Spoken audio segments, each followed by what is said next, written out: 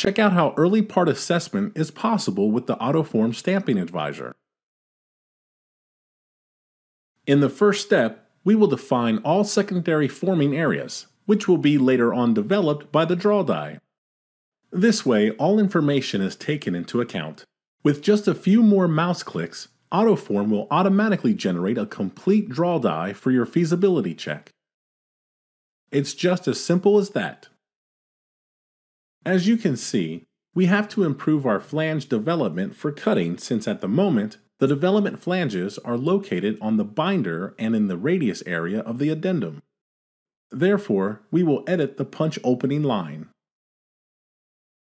By modifying the punch opening line to your individual needs, the quality for cutting is improved.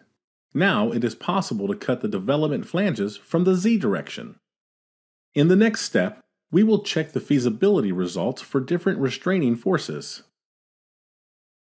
It's just one click away, so we will check the results, and as you can see, for different restraining conditions, we get different results. We have some safe areas, some areas with insufficient stretch, and some potential splits on our part.